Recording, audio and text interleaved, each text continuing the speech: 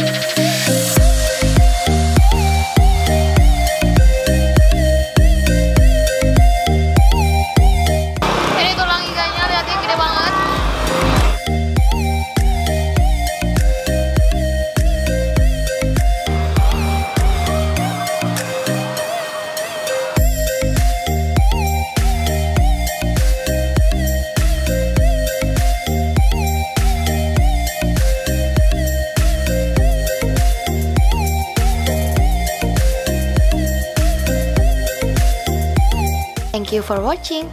Don't forget to subscribe, like, comment, and share.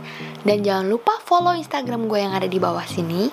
See you next vlog. Bye.